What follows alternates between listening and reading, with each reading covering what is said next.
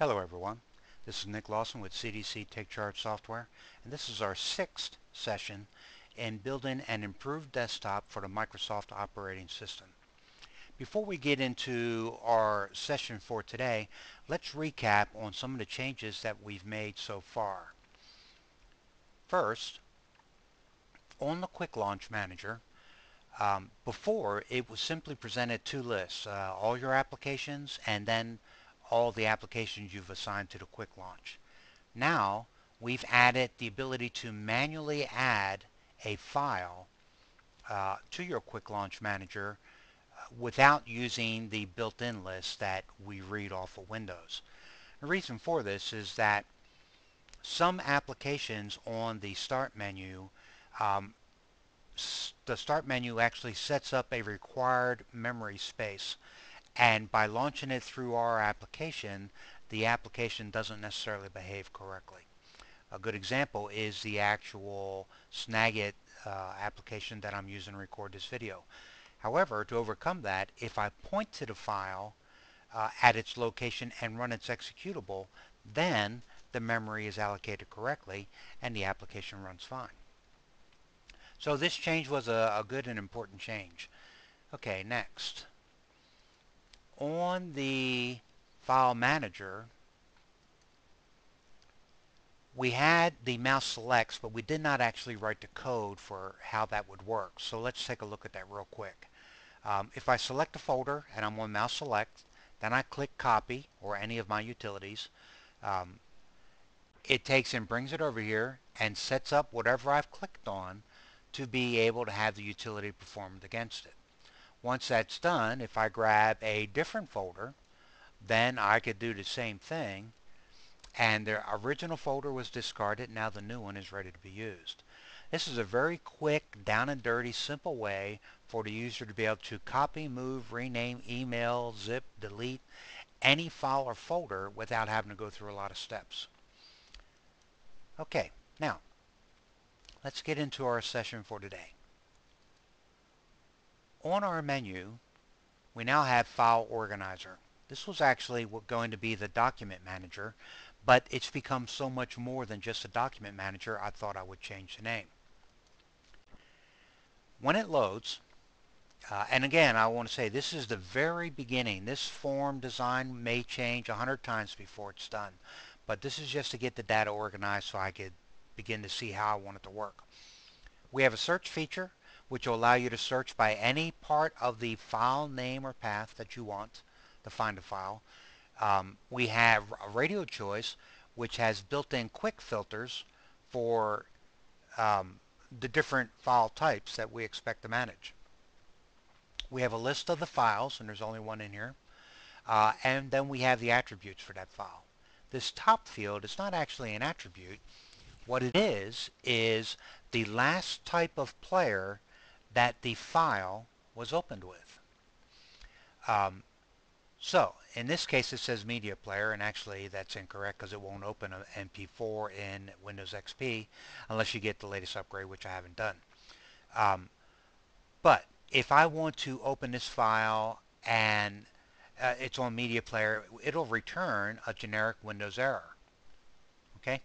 Um, so we just cancel out of that and then we can carry on and pick a different player, do whatever we want. I haven't decided if I want to change that error message or make my own custom message. Uh, I'll get to that as time goes on. Okay, so now to play it in another file, I've got two other ones. I got DivX and I got VLC. Let's select VLC. Um, now, edit open. There it is. Pretty cool. And if I switch to uh, DivX, I can do the same thing. And it opens in DivX. Now, that is actually a very good feature. Uh, a lot of people, they have files, they click on them to open them, they have no idea what it's going to open in. They may want it to be something else. When they download an application, if it's one that does files that other types do, they want you to change the association to work with their application. Can't blame them, but this way you don't have to. You just pick the player that you want and away it goes. You pick the word processor that you want and away it goes. The spreadsheet program you want, away it goes. The presentation application you want, away it goes. Very cool and very easy for the user to use. Now let's take a look at how all that's going to work. So bring it up in design mode. And as I said, this is the very beginning early blush. So the only thing we actually have written on here is the code for this edit button. Here I can show you how this file is set up. And the type of file is a record list edit combo box. And the choice points out to a table doc header, which is stores the application name and its location on the hard drive. Um, so that when we the user selects it, we know what application we want to run. All right. Now the code for the edit button, edit open button, again is very simple. Um, it could be more sophisticated. Uh, it could do a lot of uh, error checking and fetching and all kinds of things. But basically all I did here is I set a variable uh, and that's OpenVar and OpenVar is going to be the application that I want. I use TableMax to find the one and I pass the text value of the object on the form as the filter. Select file is a variable that takes and gets the from the text objects on the form or the text values the uh, file path and the file name and the file extension and adds them to the var. Then cline is the var that I want to run using system shell and I'm running it with a uh, value 1. Value 1 opens it in a window. Value 2 minimizes it and puts it on a start bar. Value 3 opens it maximized on the screen. Pretty simple. And that's all there is to it. Um, now again, uh, as I said, there can be a whole lot more code to it and there's stuff that I'm working on down here as to how I may make it work and make it more sophisticated. But no matter what application they choose, what file they want to open, it's all going to work from this one simple screen. And if they use the manager, they'll never lose that file because it stores the path here. So once they point to it and it's in our table, no matter what they do with it, if they update it, if they change the name, if they change the location, it's always going to be tracked right here. So it's very easy for them to find using any of the search features we'll have available. Now, let's look at a way that they can get this information over here that's fairly simple. Let's minimize this. And we're going to go back to our file manager.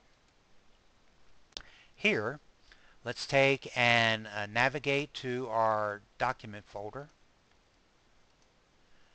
Now, all I have to do is go through and tag the type of files that I want. So the uh, the ODT is a Star Writers file.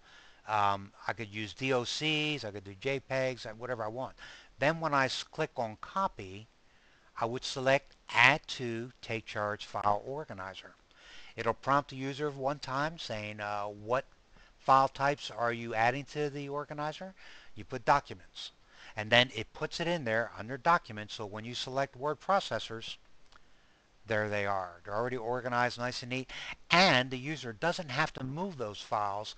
They can stay in the location they're in so that the original application it was created with still knows where it is. Very cool feature. Again, very easy for the user. Alright, so that's it for today. On our next session, what we'll be looking at is the additional code that is needed to run the rest of this. And there may be, again, as I said, some design changes. I hope you'll stop by and join us for that. And until then, have a great day.